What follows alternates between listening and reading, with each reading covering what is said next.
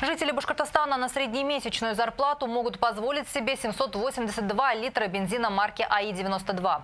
В аналитическом исследовании РИА Новости по доступности топлива республика заняла 38 место.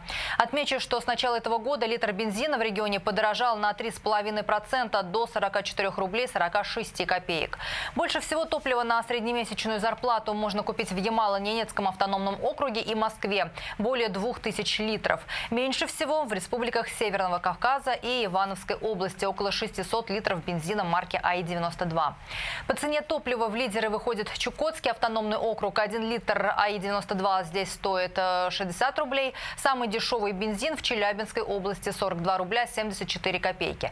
Но я отмечу, что в целом Россия занимает 16 место в мире по доступности бензина.